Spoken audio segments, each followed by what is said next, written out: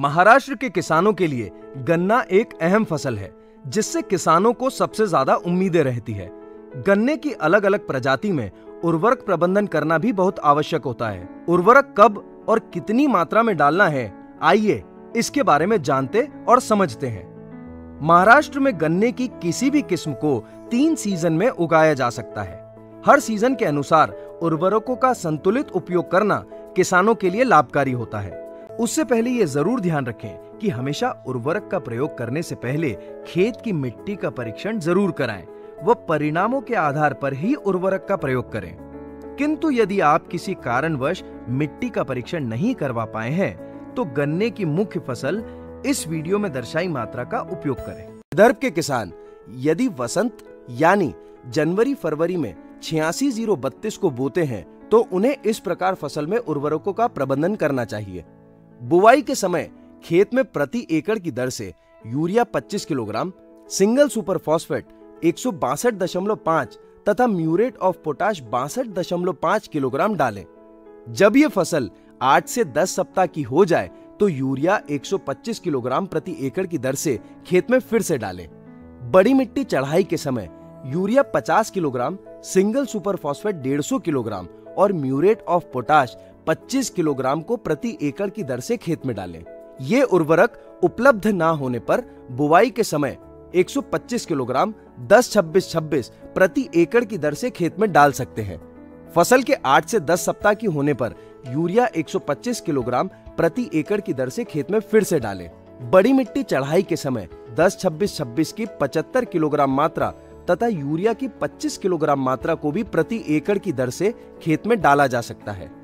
तीसरे विकल्प के रूप में किसान खेत में बुआई के समय बासठ दशमलव पाँच किलोग्राम, उन्नीस उन्नीस उन्नीस, पचहत्तर किलोग्राम सिंगल सुपर फॉस्फेट और 25 किलोग्राम म्यूरेट ऑफ़ पोटाश का भी प्रयोग कर सकते हैं। जब ये फ़सल 8 से 10 सप्ताह की हो जाए तो यूरिया 125 किलोग्राम प्रति एकड़ की दर से खेत में फिर से डालें। एक अन्य विकल्प के रूप में बड़ी मिट्टी चढ़ाई के समय 125 किलोग्राम यूरिया को भी खेत में डाला जा सकता है। यदि पश्चिम महाराष्ट्र, मराठवाड़ा, कोंकण के किसान गन्ने की इस किस्म की बुआई जनवरी फरवरी में करते हैं तो उन्हें फ़सल में उर्वरक का प्रबंधन इस प्रकार करना चाहिए। किसान भाई, बुआई के समय urea 25 kilogram, single super phosphate 175 kilogram और म्यूरेट ऑफ़ पोटाश 50 किलोग्राम प्रति एकड़ की दर से खेत में डालें। जब फ़सल 6 से 8 सप्ताह की हो जाए तो किसान फिर से 125 किलोग्राम प्रति एकड़ की दर से यूरिया डालें। जब फ़सल 12 से 14 सप्ताह की हो जाए तो एक बार फिर से 25 किलोग्राम प्रति एकड़ की दर से यूरिया डालें। गन्ने की फ़सल में अंतिम बार उर्वरक बड़ी मिट्टी चढ़ाई के दौरान डालें। इस समय 100 kilogram urea 175 kilogram single super phosphate और 50 किलोग्राम म्यूरेट ऑफ़ पोटाश को प्रति एकड़ की दर से खेत में डालें। ये उर्वरक उपलब्ध नहीं होने पर किसान 125 किलोग्राम 10 26 26 प्रति एकड़ की दर से खेत में डाले।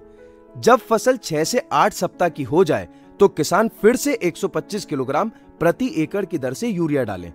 फ़सल के 12 से 14 सप्ताह की होने पर एक बार फिर से 25 किलोग्राम यूरिया प्रति एकड़ की दर से डालें। गन्ने की फ़सल में मिट्टी चढ़ाई के दौरान 10 26 26 की 100 किलोग्राम मात्रा तथा यूरिया की 75 किलोग्राम मात्रा को भी प्रति एकड़ की दर से खेत में डाल सकते हैं। किसान भाई एक अन्य विकल्प के रूप में 75 किलोग्राम, उन्नीस उन्नीस उन्नीस, सौ किलोग्राम सिंगल सुपर फॉस्फेट तथा 25 किलोग्राम म्यूरेट ऑफ़ पोटाश को भी खेत में प्रति एकड़ की दर से बुआई के समय खेत में डाल सकते हैं। जब फ़सल 6 से 8 सप्ताह की हो जाए तो किसान फिर से 125 किलोग्राम प्रति एकड़ की दर से यूरिया डालें। जब फ़सल 12 से 14 सप्ताह की हो जाए तो एक बार फिर से 25 किलोग्राम प्रति एकड़ की दर से यूरिया डालें।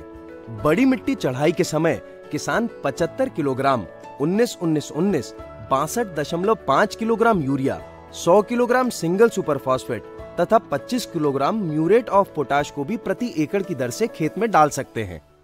तो इस तरह गन्ने की प्रजातियों के लिए उर्वरक प्रबंधन किया जा सकता है। किसान भाइयों, आपका अपना माई एग्री गुरु अब है नए अवतार में। आपके साथ टेक्नोलॉजी का पावर और एक्सपर्ट एडवाइस तो अभी डाउनलोड करें माई एग्री गुरु ऐप और जुड़े अन्य 10 लाख अग्रणी किसानों से और बने आज का समृद्ध किसान।